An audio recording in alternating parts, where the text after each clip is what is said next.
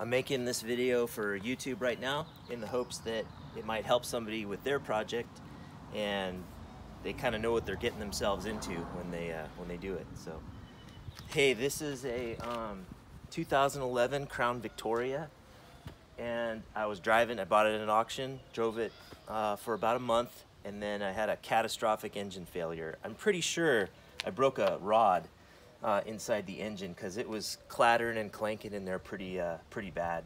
So the engine's done. So I thought, hey, I'll go to the wrecking yard and buy a new engine and then just slap a new engine in. Like people online say, oh, we're just gonna switch the engine out like it's, you know, an afternoon project.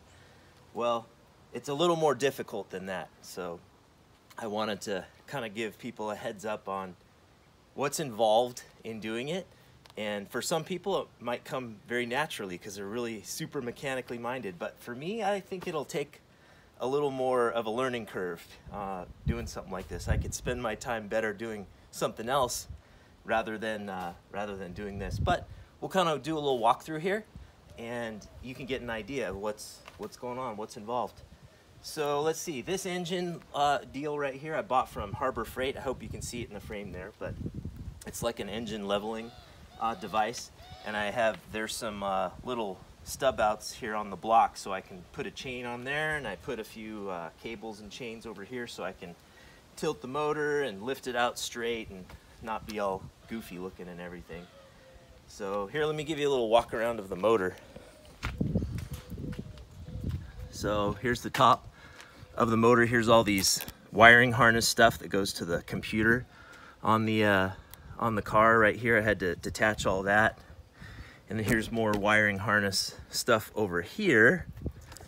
This, this wiring harness right here went to the transmission. Look at all these plugs that I had to undo on the transmission. The um, O2 sensors and all these uh, sensor relays right here and all this electronic uh, stuff.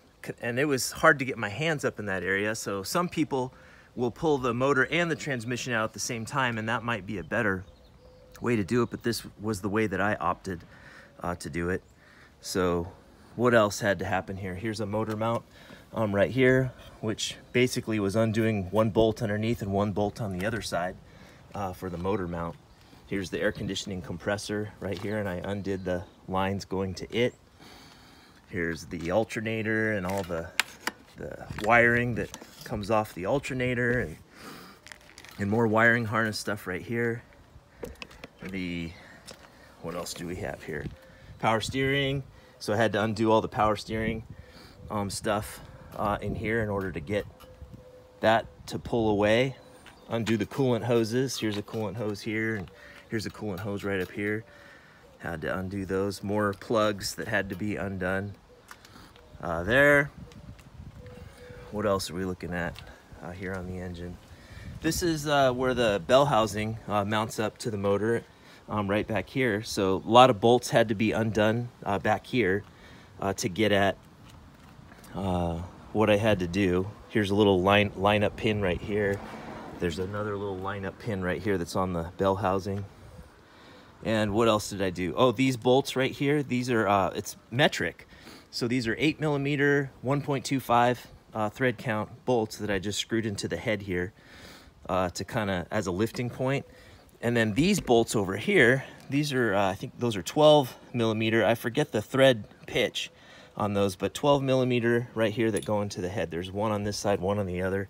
But they don't put them on the front or the other opposite corners, so you have to kind of rig something up, which I did here with these uh, little things as well. So that kind of helped me out with pulling the motor out um, here. But let me, let's have a look inside the engine bay here. So here's the engine bay with the uh, with the bell housing and the transmission right back there. You can see all the, I had to undo all those bolts, have a jack underneath it to support the, the front of it. Um, all the, getting my hand back there in that tight space to undo those clips and stuff, that wasn't an easy task.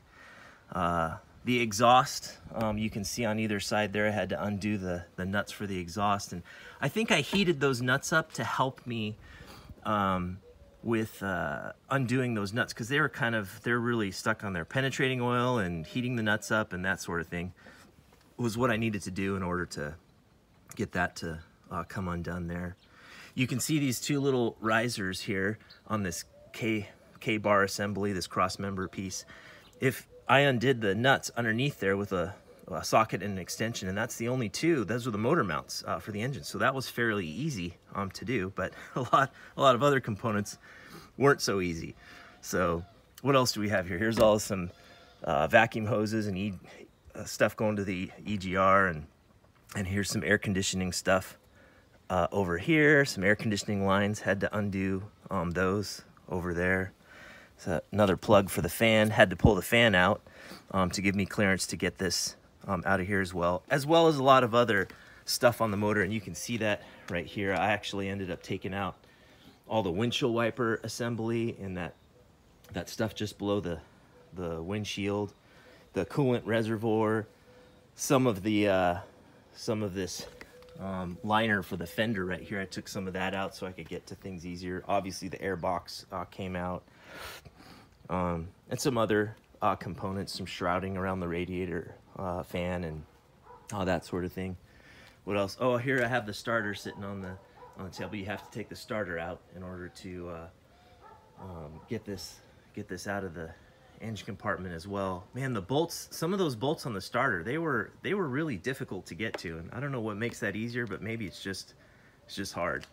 So I guess now I'm at a point now where I don't know that I want to take on the project of buying a new engine from the wrecking yard and then installing it because if it was this difficult taking it out for me, then putting it back together and remembering where all the plugs are and not missing one little thing because once I get it all back together and I go to start it and I'll be, you know, it won't run and then it'll be like, oh man, I forgot some stupid little thing and uh, or there's some seal that I broke or there's some, uh, so this might be a project that I'm not going to complete, not going to finish uh, for that reason.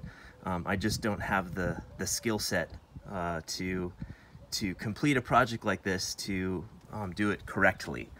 So, so anyway, we'll see what I end up doing. I might, you know, be parting things out, or I might, uh, um, what I, I, might go ahead and do this if someone encourages me to um, just take this on. Like, oh my gosh, it's the simplest thing in the world to do something like this. So, anyway, I don't know about that, but so here's the engine bay, engine out. Here's the engine sitting up in the air. Pulled it out with the old forklift here.